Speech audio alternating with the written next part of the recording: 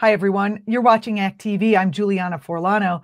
It's been said that the role of police is essentially to protect capitalism. While there's much to unpack in the aftermath of ex police officer Derek Chauvin's trial, where he was found guilty of murder in the death of George Floyd, I thought we'd speak to one of ACT TV's favorite recurring guests to discuss, in the wake of this trial, the intersection of policing and capitalism. Professor Richard Wolff, host of the widely popular program Economic Update, is joining us today. Then you come in. Here you are. Okay. Hold on a second. And thank you for joining us, Professor Wolff. My pleasure. Thank you. Um, so, if people are watching this on YouTube in the future, I'm sure history has not forgotten that George Floyd was a black man murdered by an on duty police officer who knelt with his full weight on Mr. Floyd's throat for over nine minutes. The incident was both watched and filmed by horrified bystanders, which in the end was crucial in bringing continuing police brutality uh, toward people of color, especially in our country, to light and bringing Officer Chauvin to justice as well. We are right now the day after the guilty verdict. Professor Wolff, can you give us your thoughts on the recent guilty verdict reached in this case? Well, I won't repeat what the press is full of, which is mostly the specific details of the verdict, of the trial, of the accusations, of the uh, presentations by the opposing lawyers, and all of that. This is, of course, a tragic, horrible event in American history, made only worse by the fact that it has happened so often in our history for many, many decades. And so it is, for me, a social problem that keeps exploding in these particular individual acts. And my great fear is that it will continue to be seen as something about individuals, which it is, but not also about the social problems that produce these kinds of explosions. So, for me, what I would like to talk about and what I would like your audience to think about are the social dimensions that produce these events. Every social movement, every social change in human history has been punctuated, has even come to light in people's minds through particular individual events or acts. If you only see the individual, the particulars of George Floyd, the particulars of Derek Chauvin, then you will lose. You will not understand the social dimensions. And why is that important? Because if we don't deal with those social dimensions, we're going to continue to have these horrible events as we have had them in the past. Uh, it's been said that the role of policing is to protect capitalism. Can you talk a little bit about what is meant by that and how this kind of all comes together given where we are in late stage capitalism here in the United States? Yes, I think the, the phrase that the job of the police is to protect capitalism has always been true and follows from the very logic and organization of capitalism. Uh, let me briefly explain. Every capitalist enterprise in a capitalist system factory, office, store is organized in a way that ought to give you pause, that ought to make us think. Here's how it's organized in a way that leads right to the police. A very small number of people sitting at the top of every enterprise, or 99% of them, a very small group of people run the show. They're the board of directors in a corporation. They're the family that owns the bulk of the shares. It's the owner who started the business. Whoever it is, a tiny group of people. Arrayed over on the other side in every uh, enterprise is a vast majority of people, employees. And we all know how this system works the goal, the purpose, the drive of those who sit at the top is to maximize profits. We know that's the case because they tell us that in every newspaper and TV show and in every course taught in a business school uh, in a capitalist society. They are also taught that one of the ways you improve pro- profitability is by controlling, limiting, or reducing your labor costs. That's a polite way of saying get more out of your workers, pay them less, or if you're really good, both of those at the same time. All right, now th- this is a structure that means that those at the top are able to gather into their hands the profit. Everyone's work may help produce the profit, but only those at the top get it. And they use it, not surprisingly, in good part to enrich themselves, excuse me, and to build up the business. That's how the system works. Hmm. But that creates winners and losers, those who see themselves falling further and further behind because the wealth of society, the profit, is gathered into the hands of a vel- relatively small number. And now here comes the punchline. The relatively small number at the top, the directors, the major shareholders, the family that runs it, whoever they are, they're not stupid. They're smart people. They understand that they are minorities becoming richer and richer while the mass of people aren't. And that's a dangerous position to be in. They know that. They need protection. And, and they've, they've done this wonderful thing where they convince the people that they need protection from each other. And therefore, they get exactly. the people to pay through taxes to fund the police department that is basically in the role of protecting this higher echelon exactly. of, of, people. But you can be sure you can be sure that the people at the top understand perfectly well that they need the police and in the in an extreme they'd pay the police. If they can get the mass of people to pay well even better.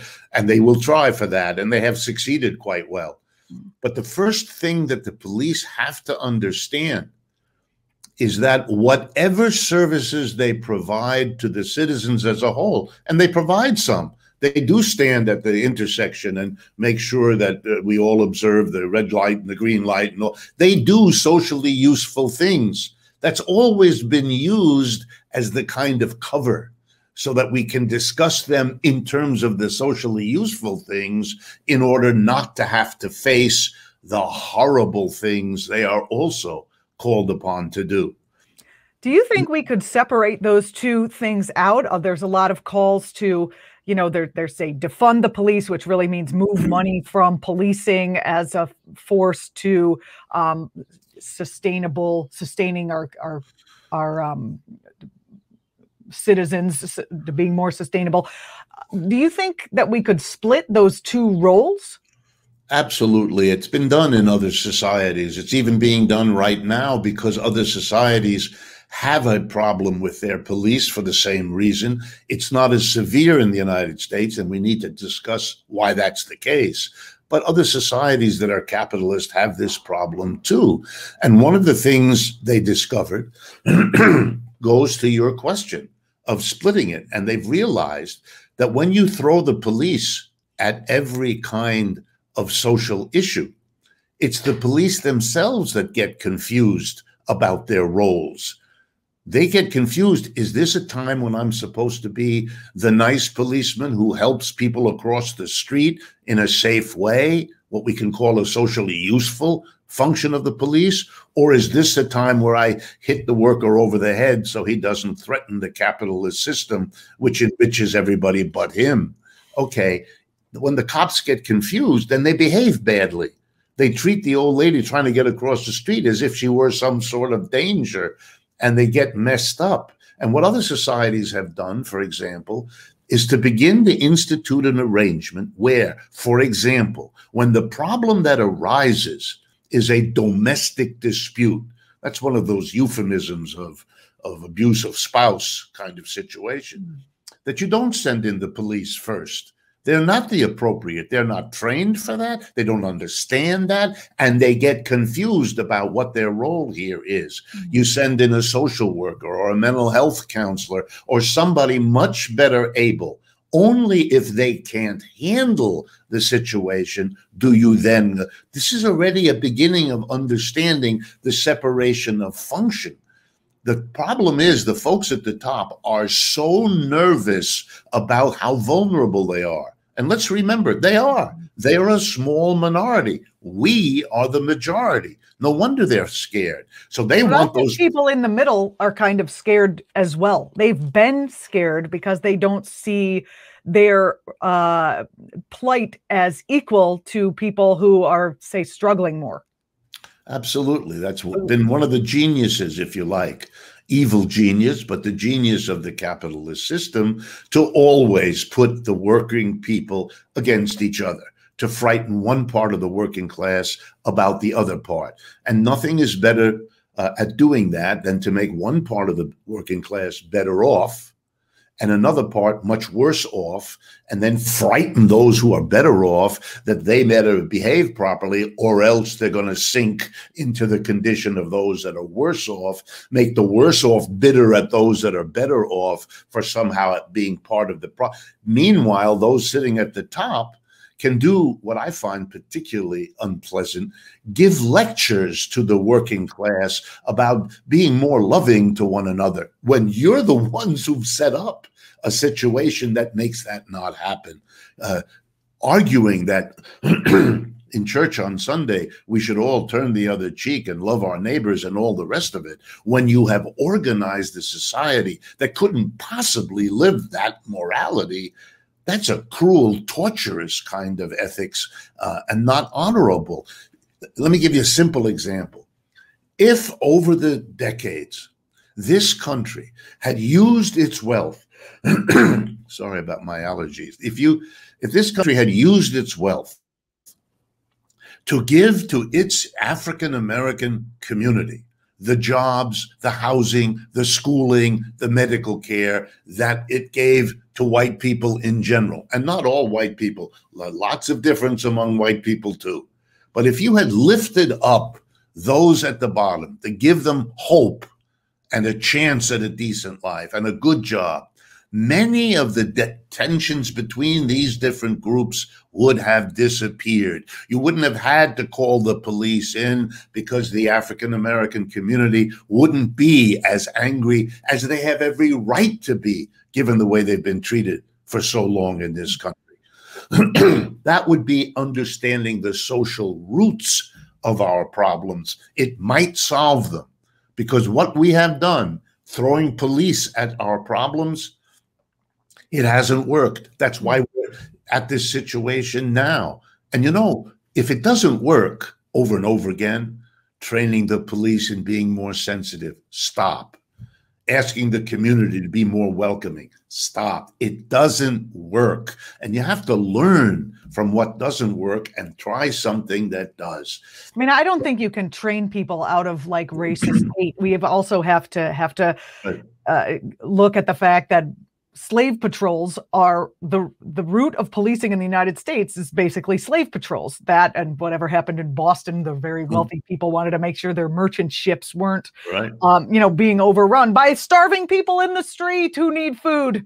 You know, this Absolutely. expectation that you can just keep people in dire straits and then Right. and they should due to morality not steal your chickens it just seems insane um my question here, Professor Wolff, is if you could comment on, you know, your organization, Democracy at Work, encourages people to um, learn about, become part of, do whatever they can to to have democracy in the or you know democracy in the workplace, meaning each person owns a share, each person has a voice, that kind of thing, down to every you know not just the people at the top, but down to every single right. worker, and therefore people are more um, engaged in the workplace. Uh, they have a sense of belonging. They have a sense of purpose, etc.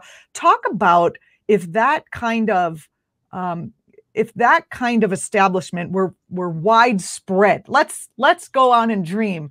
There's 50, 60% of workplaces in the United States are functioning this way, let's say. What effect would that have on sort of this stratification of society and the need for the police to protect the top 1%? Um, I think a democratized workplace where everybody has one person, one vote, if that were the regime that governed our enterprises, then there wouldn't be a tiny group at the top who makes all the decisions. It would be democratical decisions, everybody having a say. And here's one thing I could assure you if everybody had an equal voice, it would never happen that you would give a tiny minority of the people vast wealth and the rest of the folks unable to send their kids to college because it's too expensive. In other words, we would never have the kinds of inequality that capitalism is so usually uh, productive of. And if we didn't have a small group of people with inordinate wealth, then they wouldn't need police protection. You know, I can show it to you another way. Millions of people over the years have lived in small villages and small towns where the police are not a force like what we have here. And typically, when you look at it, it's because those communities do not have a structure of a few very wealthy people and everybody else uh, looking with envy at them. I think that's a key way to deal with the social roots of the problem. Here's another one. President Biden has announced that in September, the troops the United States sent to Afghanistan will finally be coming home after the longest war in American history.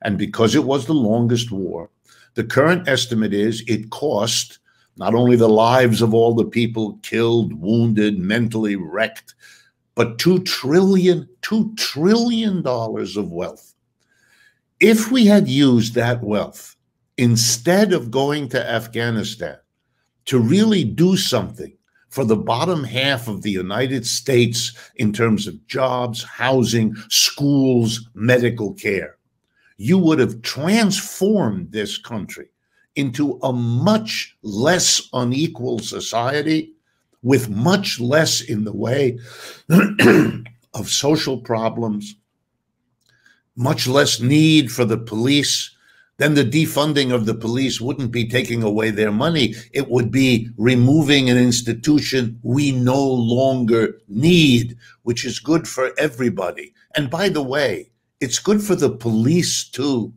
because you know, the police cannot solve a social problem. They can repress the people protesting against it, but they cannot solve the problem. That's why it doesn't go away. We already have put an inordinate number of African Americans into our prisons. We have more people in prison than any other country per capita uh, in the world. It's outrageous the repression that we have imposed, and it doesn't solve anything. It keeps costing us money. It's like that war in Afghanistan. By all accounts, the Taliban our enemy over there, we were told, is more powerful and more entrenched now than it was 20 years ago when this began. There's well, been no winner yeah, here, but that, you could have done something with that money that really helps the American people in the way that this war did not. Well, I, I was speaking on a separate podcast yesterday uh, about about how war is really just a cover for a handout to the um, arms manufacturers. So in that in that way, the arms manufacturers made a ton of money off of this war. So it was a success in terms of capitalism's, you know, inter interconnection with militarism. It wasn't a success. Yes, I think that's true. I think that the the only real winner in that war was the defense industry because they had continuous orders and for them it was a profitable venture. But for the people who died the people who were wounded the people whose whose lives have been destroyed and many in that country and many here in the United States in in all kinds of ways they were losers. And the political strength of the United States Afghanistan is not going to be a friend of the United States for a long time. Neither is Iraq. Those people are not going to forget. The rest of the world, the Muslim world, knows that the United States attacked for 20 years two Muslim countries. For the rest of the world, that is a much more powerful anti Muslim behavior than anything, for example, that the Chinese are doing in that province, which, which, is a Muslim province. And I'm not justifying or excusing what the Chinese are likely doing there. That's not the point. But the United States, outraged over the oppression of Muslim people, after a 20 year war on two Muslim countries, the rest of the world looks at this and shakes its head. we could have done much, much better, not just for the American society in view of this kind of police catastrophe, but we would be much better viewed in the world and therefore much more secure in the world if we hadn't done what we did.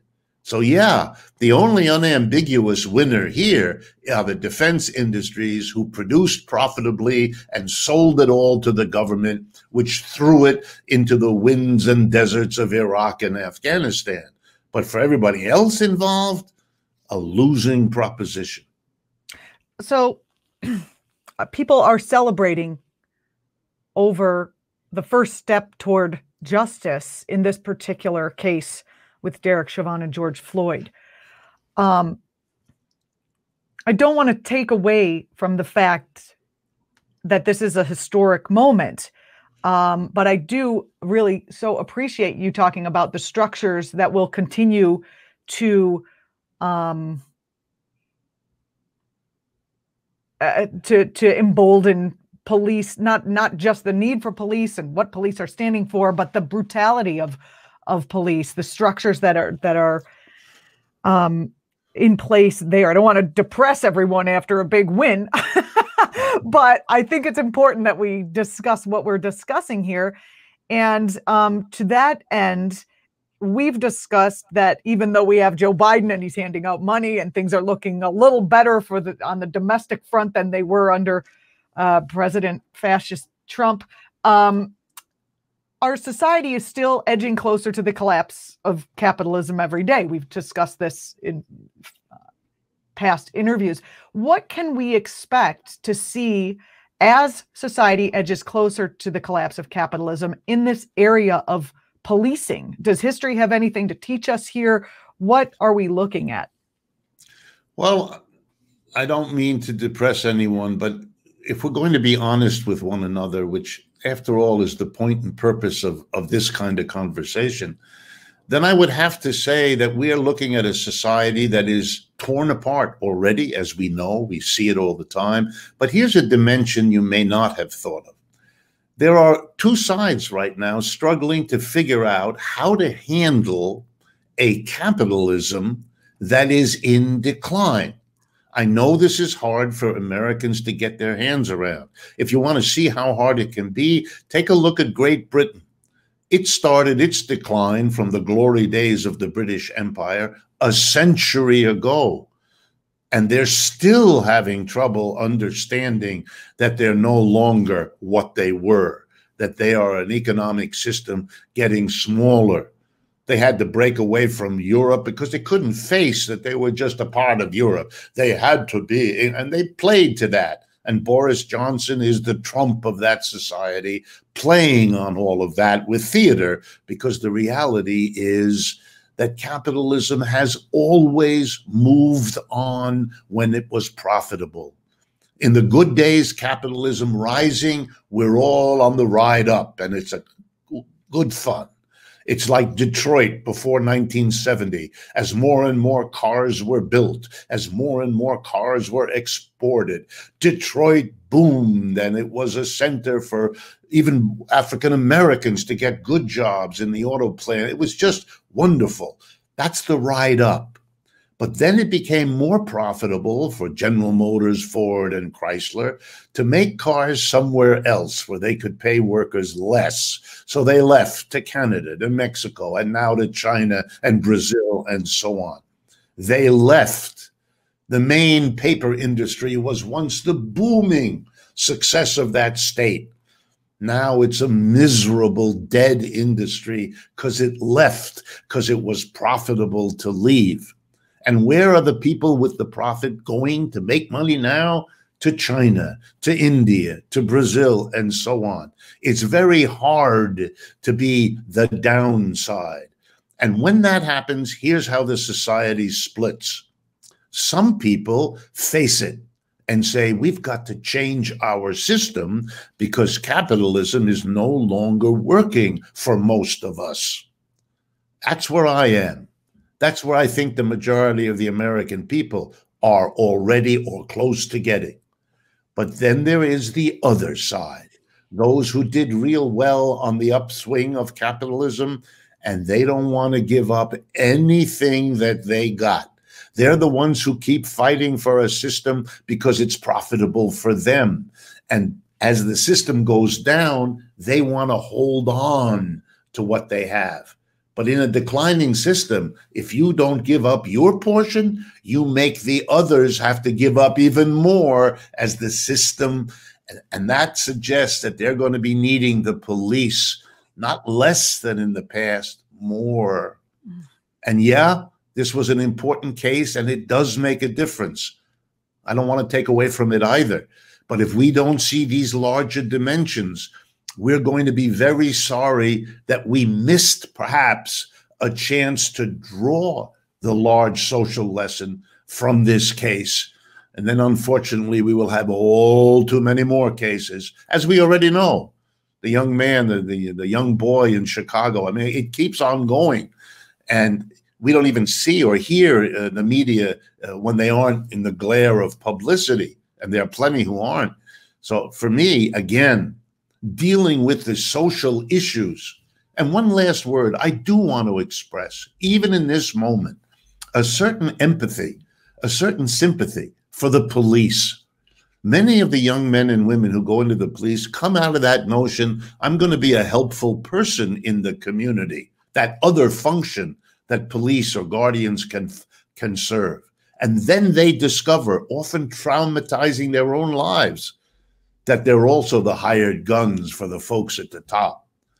And that does a number on their heads. And that's why some of them behave the way we see them. They also have very high suicide rates. Yes. Hmm. And we should be understand nobody should be put in that position. Individual policemen cannot cope with a social system breaking down. It's absurd and unfair to them too to put them in that situation. They are suffering even as they make others suffer because of what they're demanding officers tell them to do. And so that that too can play a role because if there were some understanding of what the police are being put, put to do, there might be a lot more sympathy among the police too, who understand the danger to them of the situation this system puts them into. Professor Richard Wolff, it's always a pleasure to have you on and hear your perspective. I really appreciate you coming on. Thank you very much, Julianna. I appreciate these conversations very much. Don't for, don't miss Professor Wolff's economic update, which comes out every week on Facebook. Or no, you're on YouTube. I'm sorry, just like we right. are. Yes. Democracy at Work is the website you can find Professor Wolff's work at, and you are on Twitter at Prof Wolff. Thanks again for joining us. I appreciate it. Thank you, Julianna. You're watching ACT TV. Please subscribe to our channel. We're growing and we need your help. Thank you.